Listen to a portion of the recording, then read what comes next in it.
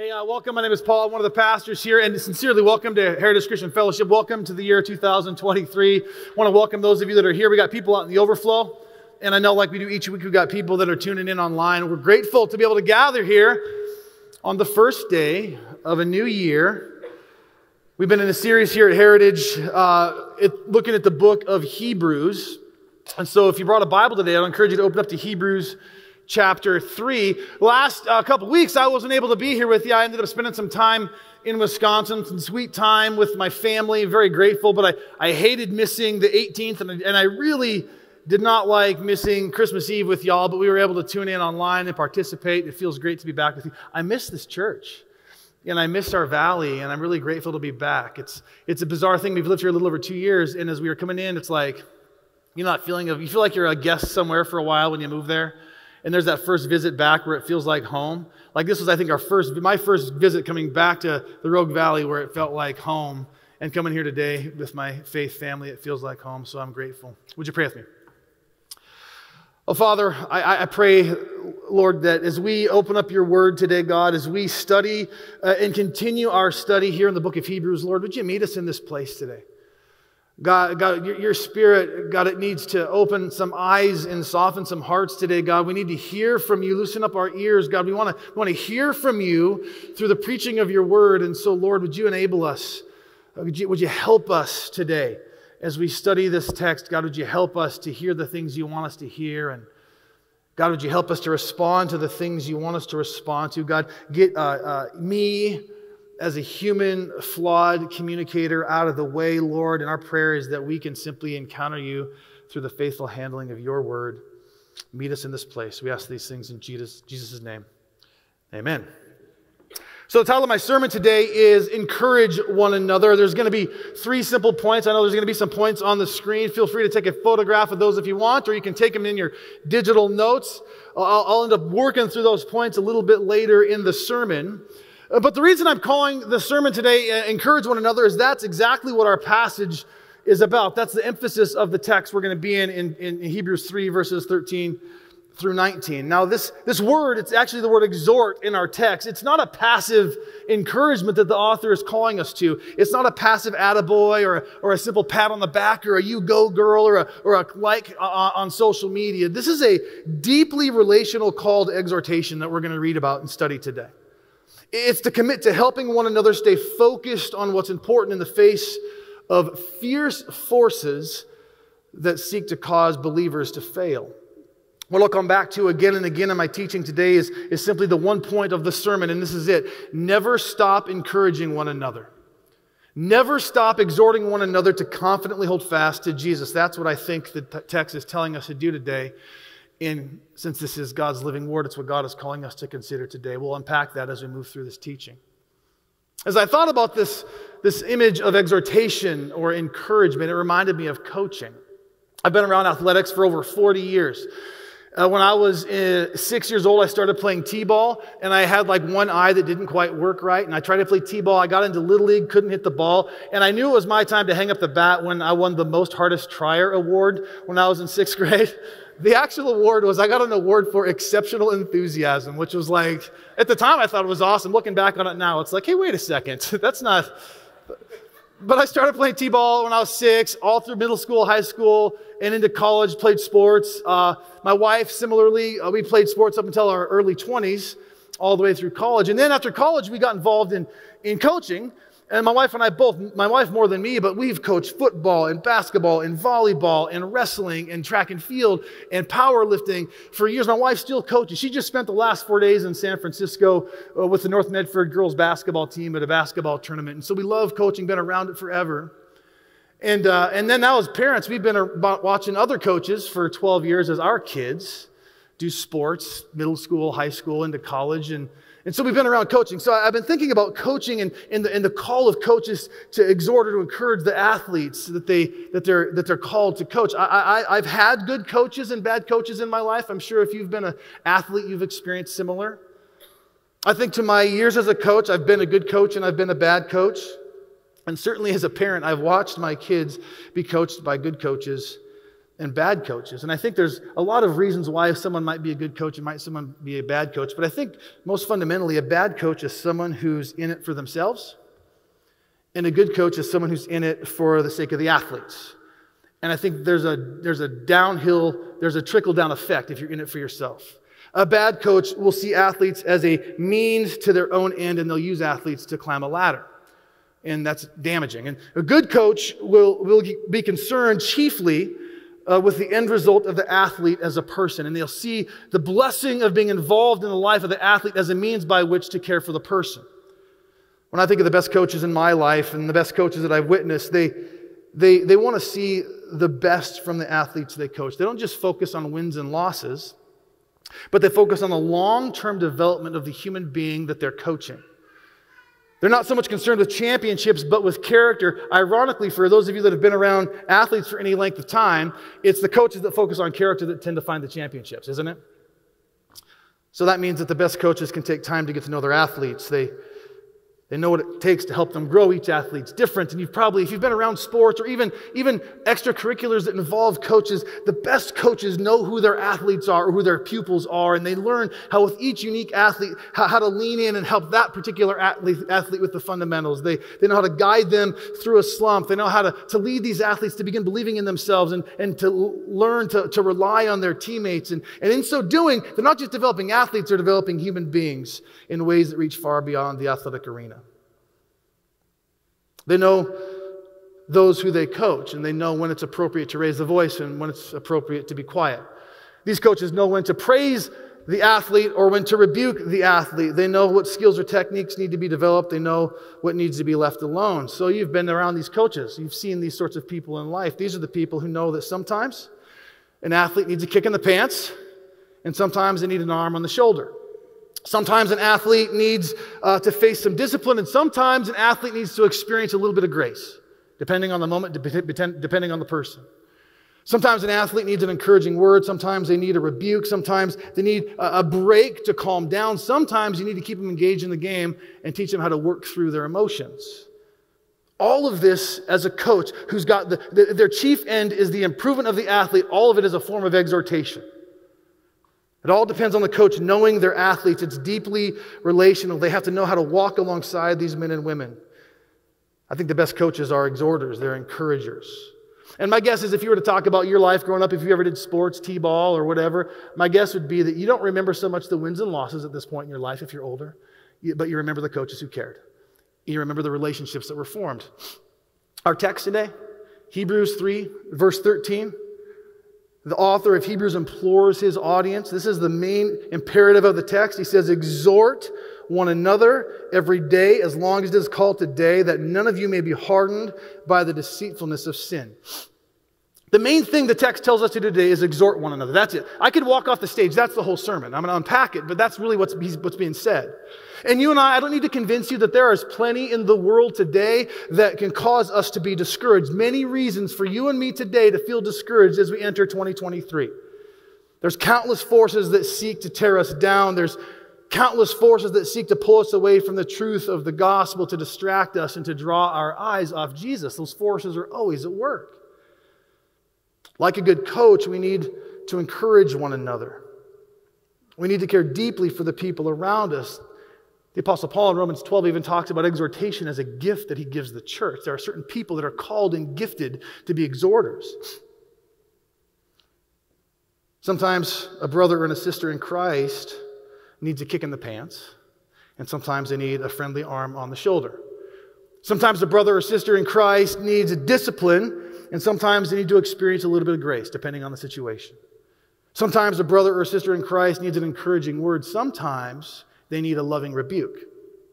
Sometimes a brother or sister in Christ needs space to consider Jesus, and sometimes they need to be engaged with the truth and the hope of the gospel by a friend who cares. All of this is exhortation. All of this is, is encouragement. It's deeply relational. It all depends on you and I, as the body of Christ, knowing one another and knowing what it looks like to walk alongside one another. I'll say it again. Never stop encouraging one another. Never stop exhorting one another to confidently hold fast to Jesus.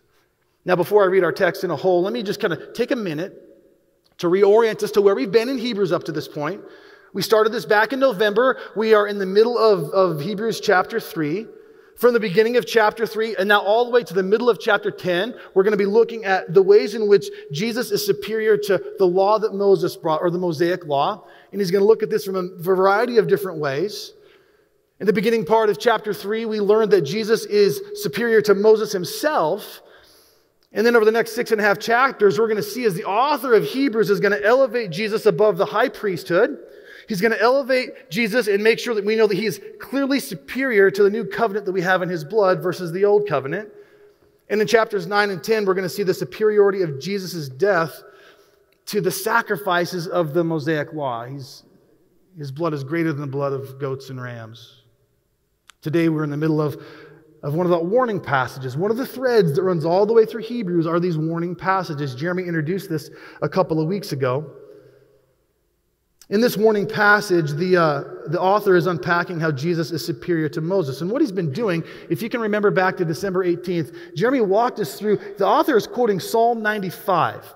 Now, Psalm 95 was a psalm that was written about the, the, the rebellion of those Israelites who God delivered from Egypt. And the author is walking about that, talking about that generation of Jews who, who were miraculously delivered from captivity. Even though these Jews witnessed the plagues and the parting of the Red Sea and the presence of God in their midst in powerful ways, even though he used Moses to bring them from deliverance, he, draws from Psalm 95 to highlight the disobedience of those wilderness wanderers.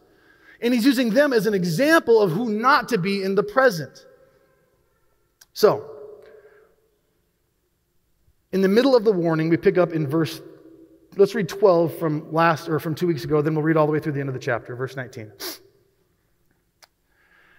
Take care, brothers, lest there be in any of you an evil, unbelieving heart leading you to fall away from the living God. But exhort one another every day as long as it's called today, that none of you may be hardened by the deceitfulness of sin. For we have come to share in Christ if indeed we hold our original confidence firm to the end. As it is said, he quotes Psalm 95 again. As it is said, today, if you hear his voice, do not harden your hearts as in the rebellion. Verse 16. For who were those who heard and yet rebelled? Was it not those who left Egypt led by Moses? And with whom was he provoked for 40 years? Was it not those who sinned, whose bodies fell in the wilderness? And to whom did he swear that they would not enter his rest, but to those who were disobedient? So we see that they were unable to enter because of unbelief. Now, I know as we journey through Hebrews, the author is building on his argument, and sometimes it can feel like we're kind of reiterating things we've already covered. And there's certainly a bit of that today, and there will be a bit of that as we hit the warning passages through the end of the book. The author is warning again today, and we'll continue to hear this language throughout the book of Hebrews about the, uh, the hardening of hearts. He's warning against rebellion. He's saying that your rebellion will actually provoke God. He's warning against the deceitfulness of sin, against disobedience, and ultimately, he's warning them about unbelief and the consequence of unbelief. The language is familiar, and yet, as we read this passage, these few verses, there is something unique that this passage has to offer to the message of Hebrews as a whole. Even though there's a lot of reused language, reiterated language. There's something unique in this passage that we have not seen up to this point. Excuse me. When I met with the guys that I meet with on Thursdays to look at this text a few weeks ago, we were asking that question. So, what is the unique contribution of Hebrews 3 13 through 19 to the argument of Hebrews as a whole? And it was that one word, exhort. That's the unique contribution this text makes to the argument of Hebrews as a whole. This exhortation, it's an urging that is done by someone who comes alongside another. That word, paraklesis, or parakaleo, it's a Greek word which means to call to one's side, to summon, to encourage, to admonish, to entreat. It's this word exhort or encourage. And so what that means is that, that in the body of Christ, in the context of faith family, by, by all loving means necessary, within the context of personal knowledge of the other, we are to lean into one another's lives, to summon, to encourage, to admonish, to entreat one another, to cling to Jesus Christ to hold fast to Jesus Christ, to take, to take care that we do not let our hearts get hardened and fall away or drift away. This is the encouragement. And, and, and the authors is telling us to exhort one another to that end. So here's what he's saying He's saying that we should do this every day. Every day, as long as it is, as it is called today. There is this here and now urgency in this call to exhort. That's why the sermon in a bottle today, my one phrase is never stop encouraging one another. That's the implication here. Every day. Every single day, when you wake up every day, as long as it's called a day, we are to encourage. Never stop encouraging, never stop exhorting one another to confidently hold fast to Jesus. Now we know the warnings up to this point. Chapter 2, verse 1, the author says, Pay attention to what you've heard, otherwise, you're going to drift from it.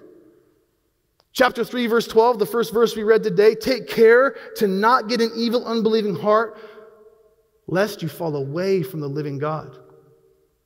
So, our text today, he tells us how we can remain connected to Christ. He gives us a great tool as the church for how you and I can guard against spiritual drift or outright apostasy by falling away and rejecting the faith. We do this by never stopping in our exhortation every single day. That's why community is so vital. Never stop encouraging one another, never stop exhorting one another to hold fast to Jesus. Now, I could step off the stage. That's, the that's a sermon in a whole. But I think there's some unique things that the structure of the passage reveals to us that I think better informs what this looks like in our life. So here's the three points of the sermon. The first one is this encourage one another today, verses 13 through 14. Encourage one another today. If you have the, the app, there is a digital way to take notes. I would encourage you to do that because these are just important things for us to remember as we journey through this book.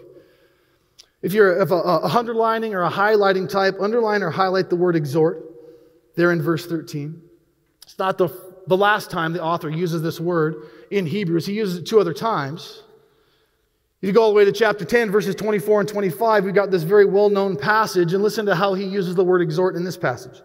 Beginning in chapter 10, verse 24. The author says, Let us consider how to stir up one another to love and good works, not neglecting to meet together, as is in the habit of some, but encouraging one another, and all the more as you see the day drawing near. That phrase, encouraging one another, is the same word that's used here in our text that's translated to exhort.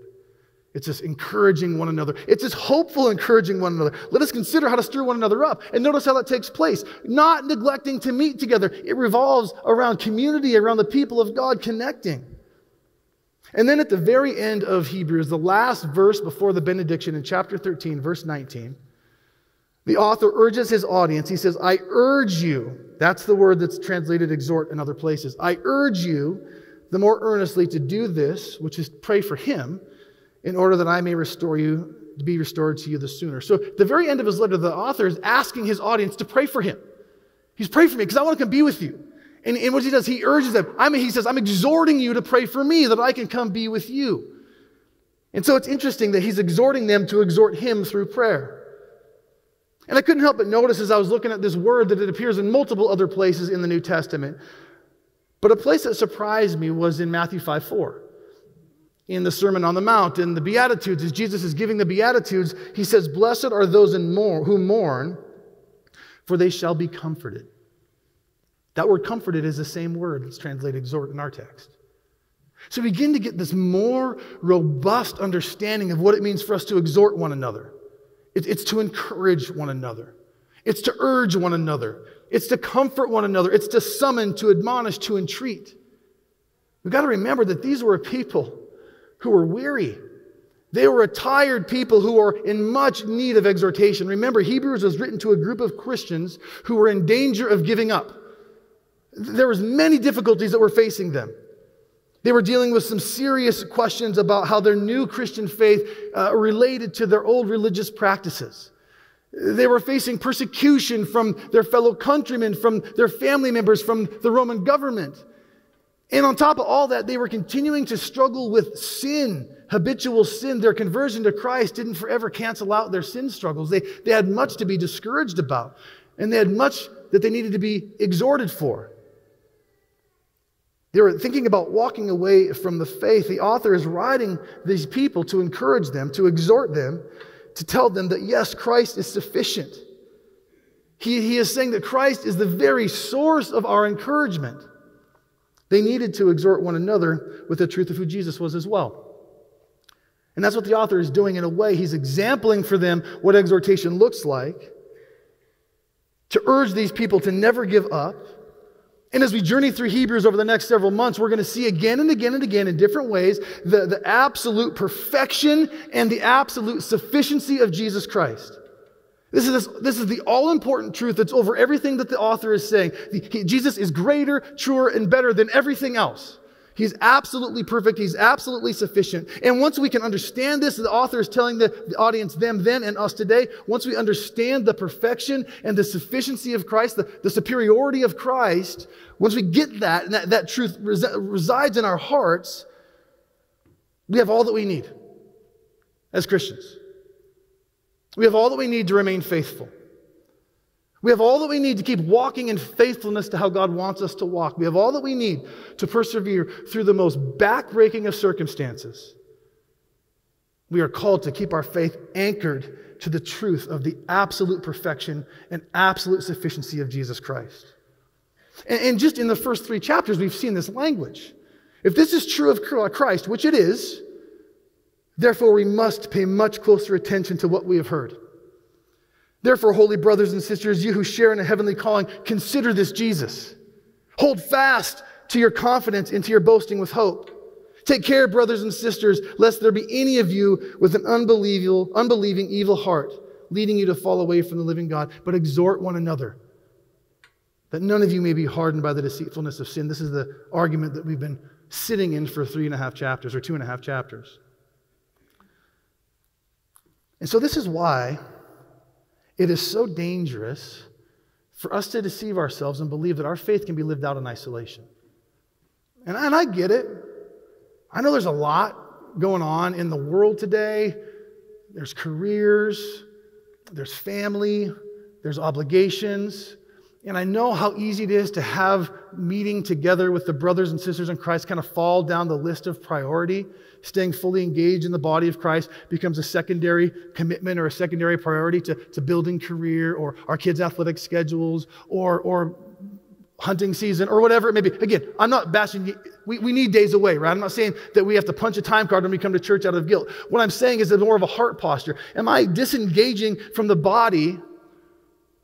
And am I, am I beginning to live as a lone ranger Christian, alone and in isolation? That is such a dangerous place to be because there's no exhortation in that place. People don't know what's going on in our lives. We don't know what's going on in their lives. And, and by the way, it's not just that you and I need to be encouraged by staying engaged in the body. God has uniquely gifted you, called you, and positioned you to be an encourager to someone else and by self selecting out. By disengaging from the body of Christ, you're depriving people who God has uniquely gifted you to encourage. We need one another. We, we are to never stop encouraging one another. We are to never stop exhorting one another to confidently hold fast to Jesus. I need you, and you need me, and we need each other. It's a communal thing, it's a relational thing. So encourage one another today. Second thing we see in the text is the author is telling the audience, them then, and us today, to remember the rebellion of the wilderness generation. Verses 15 through 18. Notice all of the, the language in these, these four verses that call the reader to look back and to remember those Israelites who died in the desert. Look at verse 15. He, says, Today, if you hear his voice, do not harden your hearts as in the rebellion. What rebellion? That one that happened in the desert, that one. Verse 16. Who are those who heard and yet rebelled? Was it not those who left Egypt led by Moses? With whom was he provoked for 40 years? Was it not those who sinned whose bodies fell in the wilderness? And, and whom did he swear that they would never enter his rest but to those who were disobedient? He's giving them a history lesson here. He's pointing them back to their ancestors. Why is it important that we know history? Right? You've heard this before, right? We, we need to know history because we, we tend to repeat history. It tends to repeat itself. And by knowing history, we, we tend to prepare ourselves for what's to come. I try to tell this to my kids when, when, they tell me they hate social studies in school. I'm like, no, this is so important to know history because it tends to repeat itself. And, and, and the truly wise people, they learn from the mistakes of history and they avoid those mistakes in the present. So the author here, using again, requoting Psalm 95, he's telling his authors today, if, or his audience, today, if you hear his voice, do not harden your heart as they did in the rebellion. In other words, hear what I'm saying to you right now. today, please listen. Don't turn a deaf ear to God like those people did in your history. Don't be like them because it didn't end well for them. As you look to and as you remember the rebellion of those men and women, the wilderness generation, as you see the suffering and the, that their rebellion brought, learn from it. Today, please listen. Remember the rebellion of the wilderness generation and don't fall into the same trap.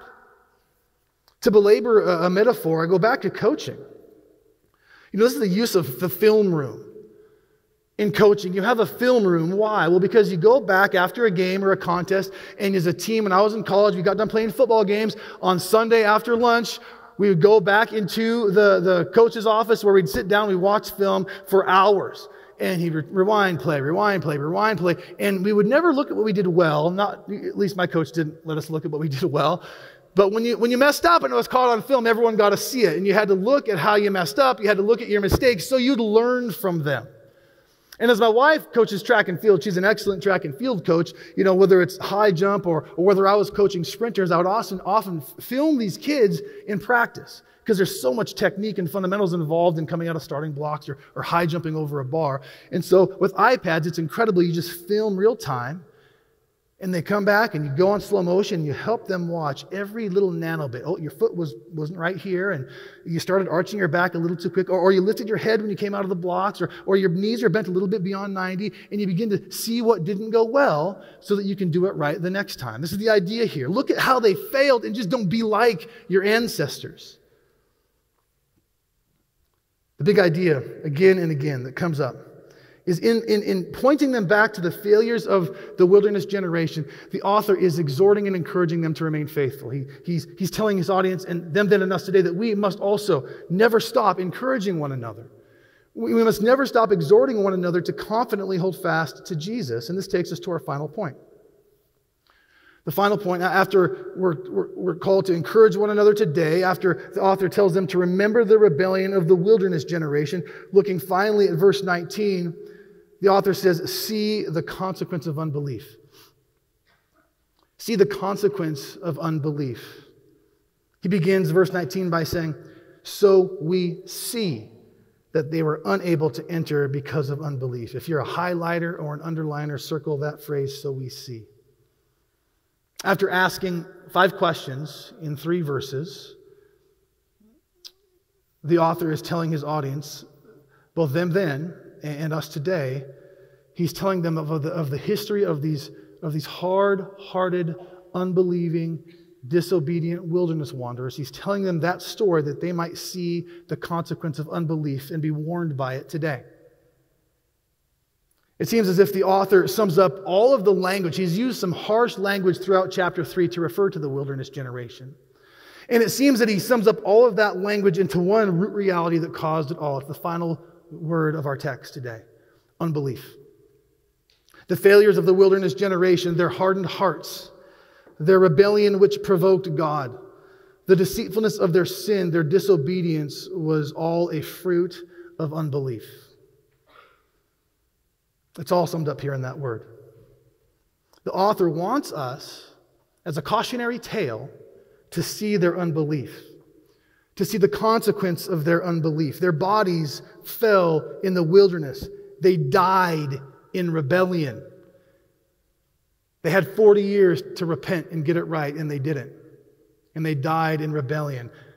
But today, as long as it's today, every day, we must exhort one another to not be like them. They did not enter God's rest. In fact, they were unable to enter it, we read at the very end of our passage. so here's the argument Here's what the author is saying He's saying, Look at that wilderness generation. Look at them. And we know the story. You've watched Prince of Egypt, you've read this story in Sunday school. You know the story. A captive people who were groaning. God heard their cries, God heard their moans, God heard their groans, and He came to rescue them. He sent a deliverer Moses. And miraculously, He delivered them. And they refused to respond to His power and His promise they walked away from the promised land and they died in the wilderness. So here is here's the argument. He's saying that those men in that wilderness generation, those men and women, they experienced a miraculous deliverance at the hands of God. They received a covenant promise from God. They saw his power at work real time in their midst. and yet, they disbelieved in the promise and the power of God. They missed out on the promised rest of the promised land. They died in disobedience in the desert, a restless wandering their fate. His message to the original audience then and us today is this He's saying, You too, Christian, you too have experienced a miraculous deliverance at the hands of God. In fact, it's a greater deliverance. Not just a deliverance from human oppressors, but a deliverance from sin and death itself through Christ. You too have received a covenant promise from God. It's a better covenant, sealed by the blood of Jesus Christ. You too have seen the power of God at play in your very midst. Not only did the body of Christ get resurrected, but God has made dead men and women, you and I who are dead in our trespasses and our sins, He has made us alive together with Him. That's miraculous. You've seen all of it. Don't be like the disbelieving wilderness generation. This is His warning. They doubted in the promise and in the power of God. Don't be like the disbelieving wilderness generation who missed out on the promised rest of the promised land. You stand to miss out on a much greater rest. Not just the rest of the promised land, but the rest of the new Jerusalem, the new heavens, the new earth, eternity with Christ, his kingdom forever. Don't be like those from the wilderness generation who died in disobedience in the desert. Their fate was a restless wandering. That's why he's got these warnings laced throughout this letter. It's, it's a warning spoken in love to people he loves. You have much to lose, so don't drift from it. Don't fall away. Take care to not harden your heart. Hold fast, hold firm to Jesus. Anchor your life, anchor your hope in Him. He is perfect and He is sufficient. Man, as I think about this text, as I think about the fear and the horror of men and women walking away from Jesus, it's so unsettling to me. It's so unsettling to me. As I see men and women over the course of 20 plus years in ministry, and as I survey the landscape of the Christian world, I see real life examples of, of apostasy. Apostasy simply means an abandonment or renunciation of Christ. I see it. It's devastating. Jeremy and I have been talking about this. It's unsettling. It's so difficult to see this happen. And it happens. And I just spent 12 days back in Waupaca, Wisconsin, this little community I lived in. And I was a pastor there the whole time I lived there, um, a youth pastor and a senior pastor of, of, a church there. And I, and I went, when I first got to Waupaca, I, I went to the friend, uh, uh, the house of an old friend who I did ministry with for years. And, and we just got to talking about people that we knew, that we loved, that we pastored and shepherded. And not copious amounts of people, but certainly an unsettling amount of people who I baptized, who had a credible confession of faith from my perspective, who seemed to have walked with Jesus for a season, have not only drifted, but have many of them have outright fallen away and, and deny Christ openly now. Oh, hearing those stories was devastating. It was, it was terrifying. Because I think of that wilderness generation that died in rebellion apart from God, and I think of these people whom I love who are going to die in rebellion apart from God, and it's awful. It was awful. But then, you know, as I was letting that those horrific stories just really settle deeply into my heart, on Christmas Eve morning, I got up and I had to run into this town I used to live in, and I went to this restaurant I used to frequent all the time to get a gift card for my parents. By the way, if you ever go eat at a restaurant in Wisconsin, they don't gauge the quality of a restaurant based on the quality of the food, but the quantity. So it doesn't matter if it tastes like air. If there's a bunch of it, it's a great restaurant. You order one egg, you get five. Anyways, that's a side note. I go to this restaurant and I'm buying a gift card, and this young lady who is very familiar to me, and I'm trying to place her, she's probably 34, 35 or something. She's like, Are you still a pastor? I'm like, Ah. I'm like, Yeah, yeah, I'm a pastor in Oregon. I'm like, Gosh, she said, I'm so sorry. Remind me of your name. She's like, Oh, I'm Alicia. I, remember, I used to go to youth group back when you lived in Waupaca. And she's like, it was the highlight of my high school life. It, like, it, it just kept me alive. I gave her a hug and, and went away, and I thought, oh, God, thank you. Thank you. All, all, those, you know, the dumb, stupid youth pastor that I was back in the day, you know, the, the trying my best to, to exhort and encourage these high school kids, there, there were some seeds that settled in this young lady's heart. And then I went and I worshiped this church I used to pastor many years ago, and the same church. And, and I went to Christmas Eve service, which was wonderful with my family. And, and I got to talk to dozens and dozens of people who talked about the faithfulness of God and how somehow, someway, through my flawed and broken and awful preaching and awful ministry, somehow they met Christ through it. And, and my, my, my, faithfulness was, was used as an, ex, an, exhortation or an encouragement to their faith. It, it, it, allowed me to see the bigness of God, that He works through us still. And, and there's people who are still walking with Jesus because of the ministry that God allowed me to be a part of back in those days. and then I got this totally unsolicited, out of the blue Facebook message from a kid I used to coach before I was a pastor 25 years ago. Quarterback, Nate. And I get this unsolicited message from him like three days ago saying, Coach, I'd follow you into the fire. I'd follow you anywhere. Do you have any openings to, to disciple me from afar? And I thought, God, you knew exactly what my heart needed. I was so heartbroken over these stories of apostasy that had taken place with people I love. But then I'm reminded, like, those, those hours, those days, those, those, those prayers, those encouragements, those rebukes, all those years of walking alongside these men and women, God used it. Wasn't because of me. I was just a vessel, but God used it. It matters. It matters when we exhort one another. It's not empty words. It's not flattery. It, it, sometimes is a lifeline to men and women who are hanging on by a thread when a brother or sister in Christ has the courage or the love or, or the wherewithal to step outside of themselves, step into the life of another person and speak a word of exhortation. It might be a rebuke. It might be a praise. It might be a kick in the butt. It might be an arm around the shoulder. It might be a word of correction, it might be a moment of grace, but as long as we step into each other's lives in the name of Jesus to point one another to Christ, that we might not die in disobedience. We're to exhort one another. What a beautiful example. You and I, we need to be encouraged. We can't do this life alone. You and I, we need to be an encourager. Those to our left and those to our right, and those in front of us and those behind us cannot do this life alone. God has made us to be interdependent to encourage one another. Never stop encouraging one another. Never stop exhorting one another. Confidently, let's, let's, let's, let's call one another to hold fast to Jesus. The consequence of unbelief is very real. So, church, as, as you remember the rebellion of the wilderness generation, as you see the consequence of unbelief, may you and I be wholly and fully committed to encouraging one another you know, I was able to go on this little trip to, uh, to, to Wisconsin, and it was just a blessing. I'm grateful to the staff to, to, to go through Christmas Eve without my helping hand. And I missed last two Sundays I was gone. Two, two times we gathered to worship, I was gone. But it was important that I go be with my family. as many of you know, I get asked every Sunday, how's your mom doing? You know that my mother has been fighting cancer for a couple of years. And her, her battle is, it's a fierce battle right now. She goes into another round of chemo and radiation here this next month, and actually this month in January. And me and my, my siblings felt it quite important that we spend Christmas together with my mom, not real sure of, of how much time we have. And so we went out there with this idea that we were going to encourage my mom and dad, and we were going to, you know, sort of exhort them. My whole family know, has faith in Christ. All my siblings, my parents were all believers. And, and we went out there, and it was just so sweet. It was such a precious time.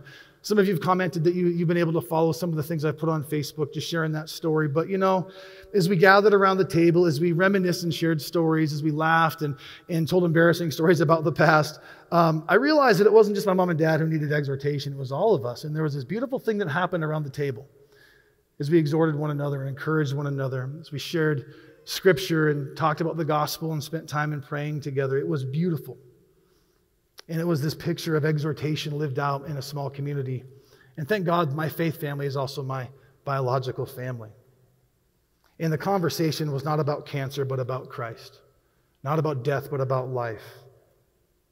That exhortation was life to me. What does exhortation look like in your life and in my life? On a very practical level, where does the rubber meet the road when it comes to this? In our, in our family, in our marriages, if you're married, in our families, our family units, in our, in our Christian community, in our church broadly, what does exhortation look like in your life and in my life? And I just want to share, three very practical points of application. Here's three things that must be true if exhortation is going to be true of us. Number one, we need to seek godliness in our own lives. We need to seek godliness in our own lives. We need to engage with God. We need to dig a deep well that comes from continually meeting with God. To withdrawing to a quiet place to pray, to meeting with Him in the Word, to commit to, to, to, deep spiritual growth and transformation, to engaging in the life of discipleship, that the image of, of God may be shaped and formed in us, that we may begin to look more like Jesus, so that we can love people like, like Jesus loved people. So it begins with a commitment in our own lives to seek godliness. And then we got to show up in the lives of others. I mean, if you've seen all these videos, maybe you have not, but, but am I these videos I've seen pop up on social media are these images of little kids at Christmas. These little five year old kids get up on the stage and they're at their, their school concert. There's a thousand parents in the audience, and these little kids are looking and looking and looking and looking and looking. And their mom and dad is filming with an iPhone somewhere in the back. And they look and they lock eyes with their parents. And they go, and you see the value of showing up. We got to show up in each other's lives. We got to show up on, on the beautiful days, and we got to show up on the not so beautiful days. I shared on Facebook a while ago this, this quote by Henri Nouwen where he talks about the, the root of the word care is the Gothic uh, kara, which means to lament. The basic meaning of care, to step into one another's lives on those worst days, the basic meaning of care is to grieve, to experience sorrow, and to cry out with the other. We're called to encourage one another, to show up in the lives of one another, to engage with the body. And then, in, addition to showing up, then we have to go to that third piece, which is to share the truth and love. If we are walking with God, we're growing in godliness, we're meeting with Him in His Word, we're pursuing mature doctrine, we're pursuing a, a, deep understanding of the gospel, we have some valuable truth that we can share with one another. And sometimes those words are a word of rebuke, for a brother and sister who's going astray, they're wandering in the desert. And sometimes that word is, is a word of just absolute encouragement to say, you know what, I watch you parent your kids, or I watch you walk with the Lord, or I watch you serve at church, and it ministers to my soul. God is using you, brother. God is using you, sister. Keep it up. Imagine the life that that would breathe in the congregation if we just lived that sort of exhorting life with one another having the courage to speak rebuke when necessary, and having the presence of mind to speak encouragement and life giving words when appropriate. And so I'll close, but I want to close simply just with, with one question that I want you to consider today. And I, I'm not trying to be cute, I seriously want you to think about this for a second. Who needs you?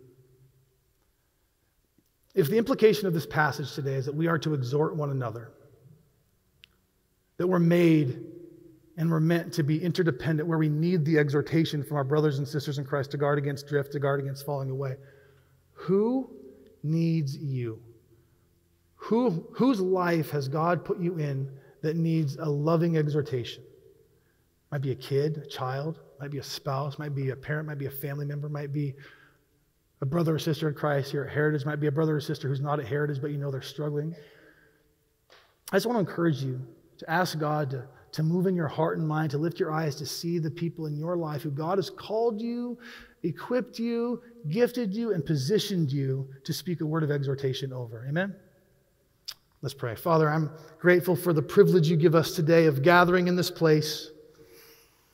God, the privilege you give us of opening up your word week in and week out, God, of learning from your word. I pray, God, that as we consider the, the implication of our passage today, Lord, that you would give us eyes to see the things we need to see and, and soften the hearts to respond to, to these truths the way you would call us to. God, help us to understand what it means that we are to never stop exhorting one another to confidently hold fast to Jesus. God, give us eyes to see the people in our life who you have positioned us to exhort.